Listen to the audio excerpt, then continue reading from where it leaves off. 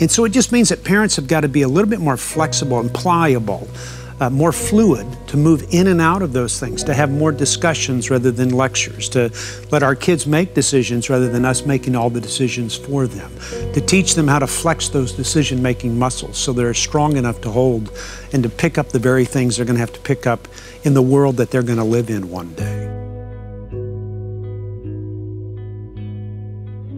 Man, I am so glad you're here because I got six kids. there you go. There you go. Well, maybe we can help. You've been a, parenting expert. You've been parenting teens, teaching others for so long.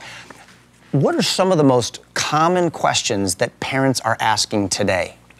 You know, I, I, mean, it's interesting. I, I live with 65 high school kids. I mean, and so I hear Your wife must be exhausted. I know, she's worn out. I mean, she's worn out. But, I mean, we have a residential counseling center, and so I get to hang out spend time with these kids, and, and they live with us for about a year. And, and the interesting part of it is we hear the questions over and over and over again, and it continues to shift continually. It used to be uh, more drugs and fentanyl and opioids, and now it moves to gender issues. And uh, my my child says they're gay. My child says they're pansexual. They're, you know, so people are asking those questions. It, you know, there's it, it seems to move with whatever is getting attention in the culture, and so because we know that it always moves then we know it's going to change. And in six months, it's going to look a little bit different as well. And so we're not afraid of those changes. I mean, I, I, I, really believe that, that, that everything is going to move. We're going to talk about tattoos for a while. Then we're going to be talking about, you know, eating and uh, disorders that somebody has. And we're going to talk about anxiety and depression, and they'll go in waves. But there's always something about those issues that kids are dealing with that, that they, they do go in waves. And just as a wave comes in, a wave hits the sand, and it disperses. But there's always another one coming.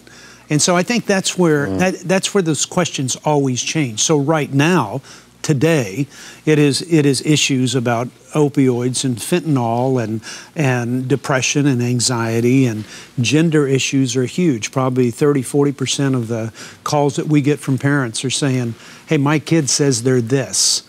what are we supposed to do? And, and that becomes a very difficult stage for parents to, to walk through. How do I take the biblical principles that I know to be true and apply them to this world that seems to be spinning out of control a little bit, which it's not because it's another wave. But how, how do I take those things that I believe and apply it to a culture that's very difficult for our kids?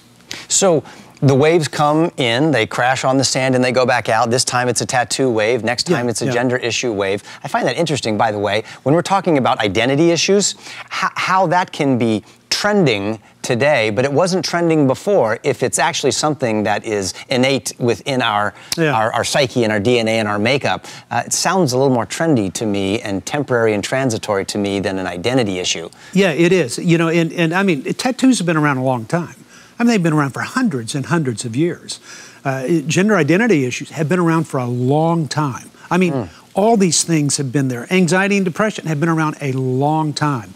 But I think at the core of it with kids, and that's, that's who I focus on more than anybody else, is that the lack of relationships that these kids uh, are experiencing. They don't have relationships. And we know that from relationships, the relationship that you and I have, I get value. I get a sense of correction. I get you push me to maturity. You you challenge my thoughts. You. you. mock me I mean, all the all time. The you make fun of my mustache. it's a love language. It, sarcasm is a man's love language, and so I mean, so I mean, you can do that with a sense of love and a sense of relationship, but our kids aren't getting that. And so what that means is they're trying desperately to have that relationship. I mean, you see your kids on a phone all the time, right? I mean, they're constantly on a phone. What they're trying to do is to fulfill the very thing that God has created them for, and that is to have a relationship with somebody because they don't have it any other way. The problem is it's not working. And so that's where you get this anxiety and depression. That's where you get kids that aren't growing up because they're not being challenged. American Medical Association has increased the age of adolescence to age 27. The American Journal of Adolescent Psychiatry has increased it to age 26. 26? Can you believe that? Is an adolescent? That's right. And that's because they don't have the relationships. Just as iron sharpens iron, so shall one man sharpen the other. But if you don't have that other man there, that other woman in your life, that other person to help you sharpen who you are, then you're not going to grow up. And that's why we have a group of kids that are trying everything they can to get attention and to build relationships. That's why they'll come up with all these crazy ideas and crazy thoughts. Whatever is on the market, they'll take it and run with it to connect with somebody else. They want to connect more than anything else. Mark, unless you're just an off the wall bad parent, you want a relationship with your kids. Yeah. Yeah. You want to see them happy. You want to be in fellowship with them. But yet you have 65 high school kids living with you every year who have parents who probably want a great relationship oh, they do. with them. What are they missing? Why aren't they able to connect with their kids? God, what a great question. What a great question. I, I think some of the ways are antiquated. And, and, and I, I want to make sure that, that it's understood that I'm not saying that, that the biblical principles that we base our parenting skills on are antiquated. They are not. Our skills may be.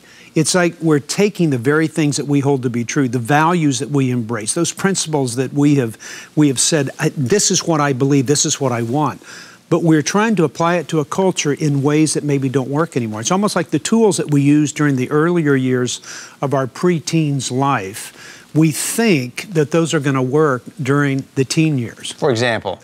Well, I, I, mean, we really think if we continue to make decisions, if we continue to uh, assume responsibility if, for our kids. Yeah, that's right. If we continue to lecture all the time, if we protect continue, them from dangers. That's right. Teach them all the time rather than training them.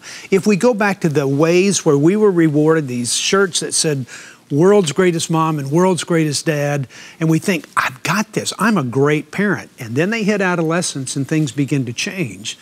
We've got to change the way that we engage with them, not the principles that we've founded our, our beliefs on, but the way that we engage so that we're not just teaching them anymore, we are training them in new ways. We're training up a child like this.